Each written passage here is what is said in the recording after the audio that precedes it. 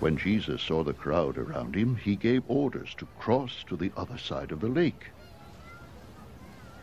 Then a teacher of the law came to him and said, Teacher, I will follow you wherever you go. Jesus replied, Foxes have holes and birds of the air have nests, but the Son of Man has no place to lay his head.